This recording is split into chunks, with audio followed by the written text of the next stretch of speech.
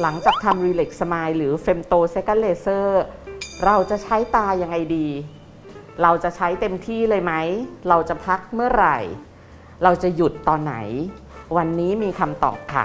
หลังจากทำ femtosecond laser เลสิกหรือ ReLEx SMILE การใช้ตานั้นเนี่ยในยุคปัจจุบันหมอตุลอนุญาตให้ใช้ตาได้เลยในวันรุ่งขึ้น ซึ่งในการนี้ก็จะประกอบด้วยคอมพิวเตอร์ล้วนๆหรือว่าโทรศัพท์ แต่อยากจะให้การใช้งานนั้นใช้อย่างค่อยเป็นค่อยไป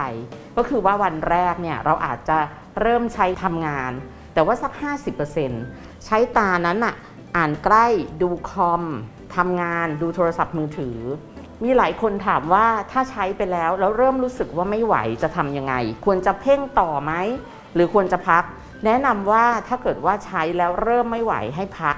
โดยทั่วไปการดูแลตัวเองนั้นเนี่ยเรามีอุบายอยู่แล้ว โดยการ บังคับให้หยอดน้ำตาเทียมทุกหนึ่งชั่วโมง ซึ่งในการให้หยอดทุกหนึ่งชั่วโมงนั้น เป็นอุบายให้เราได้พักอยู่แล้ว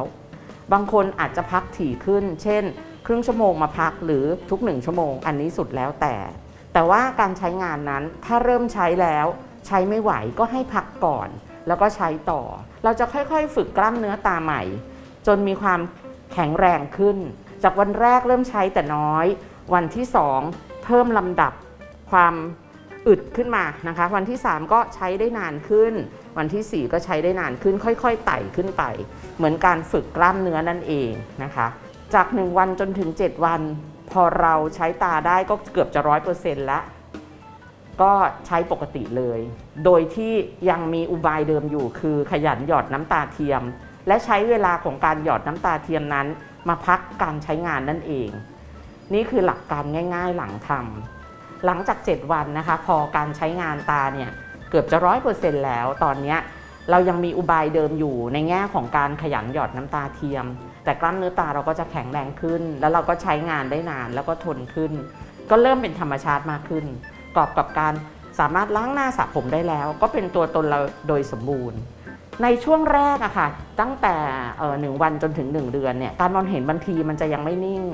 บางทีมองใกล้ชัด บางทีมองใกล้ไม่ชัดนะคะ ถ้าไม่ชัดก็ไม่ต้องไปฝืนทำเท่าที่ได้ไหวแค่ไหนก็ทำไม่ต้องไปฝืนเพ่ง เหนื่อยก็พัก แค่นี้เองเป็นคำแนะนำง่าย ๆ หลังการรักษาตา พอหลังเดือนหนึ่งแล้วนะคะความคมชัดก็จะเกิดขึ้น ความ stable เกิดขึ้น ตอนนี้ก็สบายโกแล้วล่ะค่ะนี่ก็คือคำแนะนำจากหมอตุลยาในแง่ของการใช้ตาว่าเราควรจะทำอย่างไร สรุปก็คือสบายๆค่ะ เหนื่อยก็พัก แล้วก็มีอุบายการหยอดน้ำตาเทียมทุกหนึ่งชั่วโมง ง่ายนิดเดียวเลยนะคะทำกันให้ได้นะคะ